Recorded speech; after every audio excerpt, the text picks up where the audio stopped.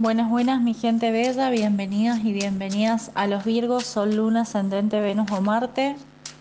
Vamos con esta canalización para el trabajo, el dinero, los proyectos importantes.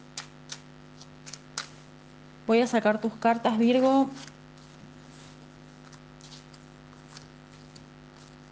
Energías de Leo, Cáncer, Tauro, Acuario y Aries. Entonces vamos a ir aclarando. A ver qué es lo que nos quieren decir. Virgo, si esto resuena para vos, bienvenido sea. Si no, simplemente soltalo y déjalo ir.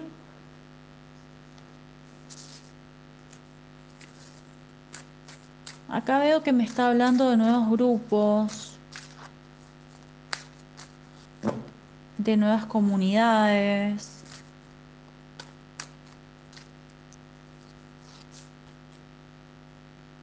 De volver a conectar con tal vez con tus hobbies, algún hobby en particular que tengas, algún deporte, algo para hacer a nivel recreativo. Energía de creación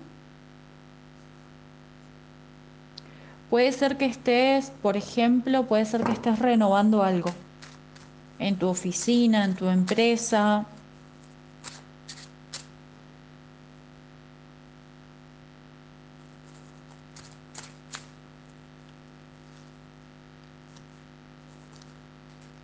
Bien. Sí, veo energía muy bonita, veo energía muy creadora.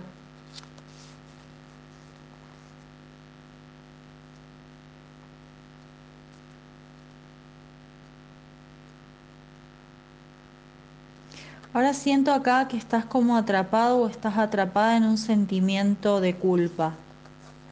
¿Culpa de qué? ¿Culpa por qué? Porque estás atrapado y atrapada en este sentimiento. ¿De qué sentís culpa? Mm. Está como interesante esto.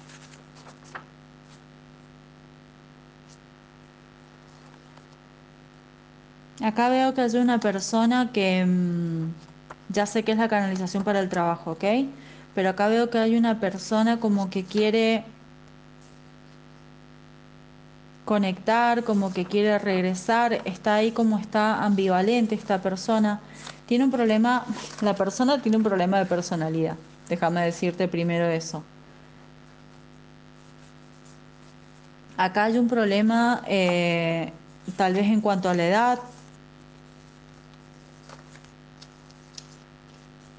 hay un problema en cuanto a los apegos. Esta persona puede ser que tenga eh, un complejo de Edipo. Para quienes saben lo que es un complejo de Edipo, si es un apego ya desmesurado hacia su madre.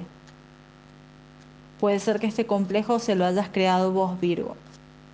¿Sí? Que de alguna manera esta relación tenga tonos de una relación tóxica. Voy a hablar de eso eh, porque me atrasé un poco con algunas canalizaciones, entonces voy a hablar de eso en la canalización del amor, ¿ok? En esta relación sí veo como que la persona tiene un problema entre que no sabe si es niño, si es adolescente o si es adulta o adulto. Entonces, guarda dónde nos estamos metiendo, Virgo. O donde ya tal vez te metiste de lleno, ya lo mejor ya está, ya es tarde. Se lo estoy diciendo a un Virgo o una Virgo que ya está casado, que ya, ya todo. ¿Mm? Entonces, analicemos bien eso. Eh, con respecto al trabajo, yo veo que acá estás bastante equilibrado y equilibrada, estás yendo y estás viniendo, estás defendiendo lo que es tuyo, que es tuyo, que estás creando vos. También es importante analizar eso. Veo energía creativa en vos. ¿Por qué tan a la defensiva es lo que me llama la atención, no? Habla acá de ser de alguna manera pionera o pionero. Habla de tener energía, tal vez te sentís dueño o dueña, o tal vez sos dueña o dueño de una empresa, un emprendimiento. Guarda con esto porque hay muchas responsabilidades a nivel kármico. Sí. Las relaciones a nivel laboral, las relaciones a nivel empresarial son kármicas. Ojo con eso.